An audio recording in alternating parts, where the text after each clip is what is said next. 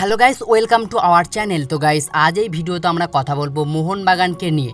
তো ফাইনালি মোহনবাগানের নতুন জার্সি লঞ্চ হয়ে গেছে, যেটা তোমরা স্ক্রিনে দেখতেই পাচ্ছ। জেসওয়ান কামিংস অনিরুদ্ধ থাপা, সঙ্গে সঞ্জীব গোয়েঙ্কা। তিনজন মিলে কিন্তু মোহনবাগানের নতুন জার্সি রিভিল করল, যেটা তোমাদেরকে আগেই জানিয়েছিলাম যে অনিরুদ্ধ থাপা জেসন কামিংসকে নিয়ে কিন্তু মোহনবাগানের নতুন জার্সি রিভিল করতে চলেছে মোহনবাগান ম্যানেজমেন্ট। তো তেমনটাই কিন্তু দেখা গেল আজকে জেসন কামিংস সঙ্গে অনিরুদ্ধ থাপা এবং সঞ্জীব গোয়েঙ্কা। তিনজনে কিন্তু মোহনবাগানের নতুন জার্সি রিভিল করল। এছাড়াও জেসন কামিংস, অনিরুদ্ধ থাপা, আনোয়ার আলীকে নিয়ে বড় সুখবর এলো মোহনবাগানের তরফ থেকে। সেটা তোমাদেরকে জানিয়ে দেবো। মোহনবাগান কিন্তু এই বছরে আট নম্বর বিদেশি সইটাও কনফার্ম করে ফেলল। তো আট নম্বর বিদেশি কে সেটা তোমাদেরকে জানিয়ে দেবো। তো গাইস চলো ভিডিওটি শুরু করা যাক। তো ভিডিও শুরু করার আগে চ্যানেলে যারা প্রথমবার এসেছ এবং সাবস্ক্রাইব করনি, তারা অবশ্যই সাবস্ক্রাইব করে দিও, পাশের বেল নোটিফিকেশানটিকে অল প্রেস করে দিও, তাহলে পরবর্তী ফুটবল রিলেটেড যে সমস্ত আপডেট তোমরা একদমই মিস করবে না। তো গাইস চলো শুরু করা যাক। তো ফাইনালি মোহনবাগানের নতুন জার্সিতে তোমাদেরকে দেখিয়ে দিলাম। তো কেমন লেগেছে অবশ্যই তোমরা কমেন্টে জানিয়ে দিও।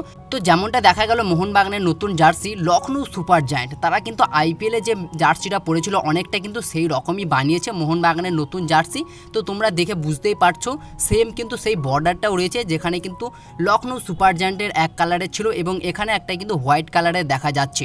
তবে এই জার্সিটা তোমাদেরকে কেমন লেগেছে অবশ্যই তোমরা কমেন্টে জানাতে ভুলো না। তো সত্যি সত্যি বলতে গাইজ আমার খুব একটা ভালো লাগেনি এই জার্সিটা। তো তোমাদের কেমন লেগেছে অবশ্যই কমেন্টে জানিয়ে দিও।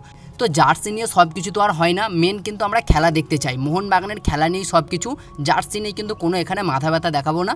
তো মেন দেখতে চাই আমরা জেসন কামিংসের জাদু। তো গাইজ তোমাদের কি মনে হয় জেসন কামিংসের জাদু নাকি মোহনবাগানের নতুন জার্সি? কোনটা ভালো দেখতে চাও? অবশ্যই তোমরা কমেন্টে জানাতে ভুলো না। তো জার্সি কেমন লেগেছে সেটা অবশ্যই কমেন্টে জানিয়ে দিও। আর তার পাশাপাশি যদি অনিরুদ্ধ থাপা, আনোয়ার আলী, জেসন কামিংসকে নিয়ে আপডেট দেওয়া যায়, তো অনিরুদ্ধ থাপা, আনোয়ার আলী ভারতীয়দের মধ্যে এই দুই নতুন তারকা কিন্তু অনুশীলনে যোগ দিয়ে দিয়েছে, যেটা তোমরা গতকালকে দেখতে পেয়ে গেছো। তার সাথে সাথে কিন্তু জেসন কামিংসও দ্বিতীয় দিনের অনুশীলন সেরে ফেললেন এবং আজকে কিন্তু তিনি জার্সি লঞ্চ হওয়ার যে মানে অনুষ্ঠান, সেখানেও কিন্তু উপস্থিত ছিলেন অনিরুদ্ধ থাপার সঙ্গে এবং সঙ্গে ছিলেন সঞ্জীব গোয়েঙ্কা, মোহনবাগানের কর্ণধার। তো জেসন কামিংস, অনিরুদ্ধ থাপাকে নিয়ে সঞ্জীব গোয়েঙ্কা কিন্তু নতুন জার্সি লঞ্চ করে দিল আজকেই। আর তার পাশাপাশি যদি মোহনবাগানের আট নম্বর বিদেশিকে নিয়ে কথা বলা যায় অলরেডি মোহনবাগানে কিন্তু এই মুহূর্তে সাতজন বিদেশি দলের সঙ্গে যোগ দিয়ে দিয়েছেন। এবং আট নম্বর বিদেশিকে মোহনবাগান শিবিরে যোগদান করার জন্য ভিসা পাঠিয়ে দিল। তো সেই প্লেয়ারটি কে?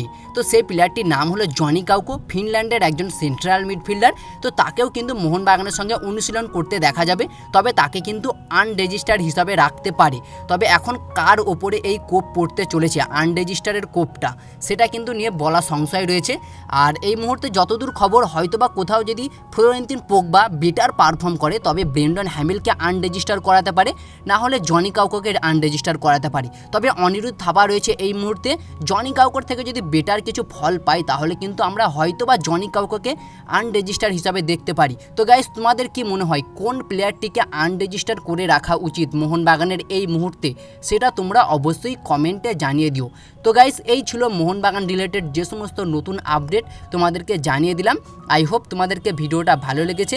ভিডিওটা ভালো লাগলে একটা লাইক করে দিও চ্যানেলটিকে সাবস্ক্রাইব করে পাশের বেল নোটিফিকেশানটিকে অল প্রেস করে দিও। তাহলে পরবর্তী ফুটবল রিলেটেড যে সমস্ত আপডেট তোমরা একদমই মিস করবে না। তো গাইস দেখা হচ্ছে আবার next ভিডিওয় bye bye have a good day